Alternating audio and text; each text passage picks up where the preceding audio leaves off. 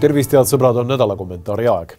käesoleva nädala fookuses jätkasime perversse sooideoloogia käsitlemist kampaania näitel, millega pestakse parasjagu Kanada väikelaste ajusid, pannes neid uskuma, et sooline identiteet ja sooline kuuluvus tervikuna on valiku küsimus, mis allub ainult ühele instantsile, südame kutsele. oled tüdruk, aga sinu süda ütleb, et peaksid olema poiss, pole hullu kollaste juustega suur õde õpetab, kuidas poest uusi riideid osta, juuksuris juuksed maha pügada ning lõppkokkuvõttes kliinikusse hormoonravile ja noa alla järjekorda võtta.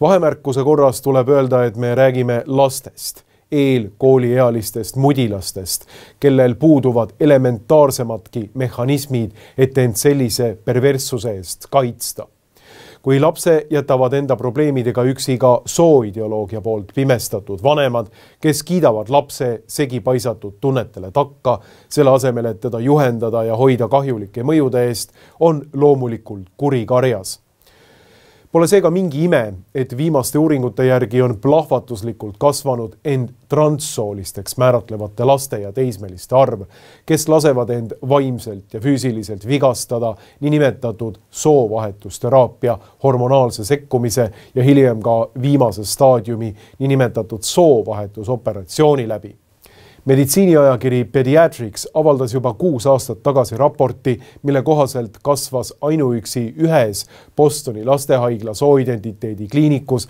patsientide arv neljakordselt. Pärast seda, kui seal hakati kahe tuhande seitsmendast aastast alates lisaks puberteedieas noorukitele vastu võtma ka puberteedieelseid lapsi vanuses neli kuni kaksteist aastat pärast Bostoni kliiniku asutamist on USA-s avatud juba nelikümmend laste soovahetust võimaldavat kliinikut ning nende arv kasvab iga päevaga.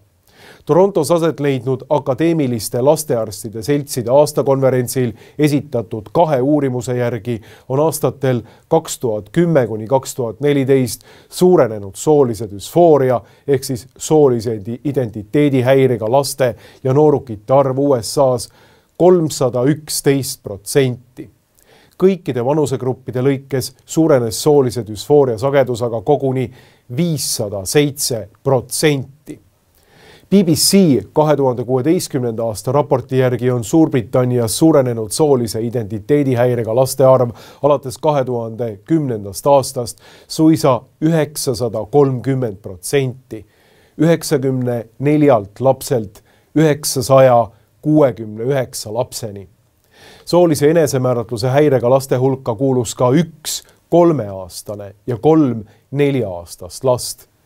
kui LGBT liikumine seletab neid numbreid kasvava eneseteadlikkuse ja ühiskondliku surve vähenemisega ning hõiskab hurraad siis soodüsfooria tegelike põhjuste hulka kuulub hulganisti tegureid, mida LGBT liikumine sooviks pigem kalevi alla pühkida. tuhande üheksasaja üheksakümne neljanda aasta uuringu kohaselt, mille raames intervjueeriti neljakümmend viit transseksuaali, kes määratlesid end meestena, kuigi olid bioloogiliselt naised olid kogenud kuuekümnel kolmel protsendil juhtudest füüsilist ja viiekümne kahel protsendil juhtudest seksuaalset kuritarvitamist uuringus võeti arvesse vaid raskekujulist ja pikaajalist kuritarvitamist, näiteks löömist ja peksmist erinevate esemetega, kõrvetamist ja kägistamist.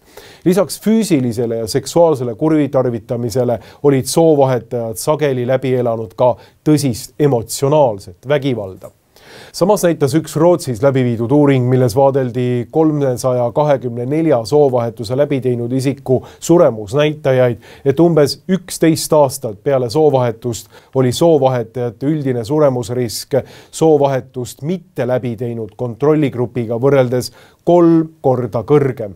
Suremus enesetapu läbi, läbi aga koguni üheksateist korda kõrgem niisiis, niinimetatud soovahetajate juhtumites on tegu tõenäoliselt pea alati tõsiste traumadega ja lõppkokkuvõttes alati ka tragöödiaga, mida LGBT inimvaenulik ideoloogia maksimumini ära kasutab, määrides seda tänasel päeval pähe ka väikelastele LGBT liikumine moodustab ideoloogilise, maailmavaatelise ja organisatoorse terviku ning seesama organisatsioon, mis seksuaalrevolutsiooni ammu enne meid läbi teinud maades normaliseerib väikelaste sooidentiteedi häireid, maadleb siinmail alles kooseluseadusega ja sellele loogiliselt järgneva homoabieluga ent nagu ma ei väsi rõhutamast, sooideoloogia on Eestis juba kohal ja ootab ainult soodsat hetke, et end koolides ja haridusasutustes ja miks mitte ka lasteaedades maksma panna.